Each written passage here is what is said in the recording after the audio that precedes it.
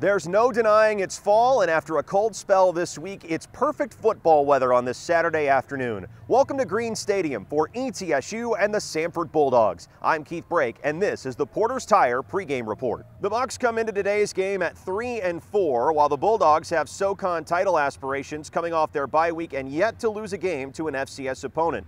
The Bulldogs and Bucs look similar in terms of total offense, but peel back the surface and it's clear this team still builds its identity around the pass game, with lots of shorter passes to set up the deep ball, a group that will go best on best against Alijah Huzzie and the ETSU secondary. Where the Bulldogs have changed is on defense, with a new DC and a handful of transfers making them much better against the run and returning players who've taken big steps forward this year, like veteran cornerback Cortland Marsh. This is just the 10th all-time meeting between the Bucs and the Bulldogs and the sixth since ETSU revived its football program. The series is even since 2016 with four one-score games, including J.J. Jerman's walk-off magic in 2016. And that's the Porter's Tire pregame report for ETSU and Samford. I'm Keith Brake saying enjoy today's game and go Bucs.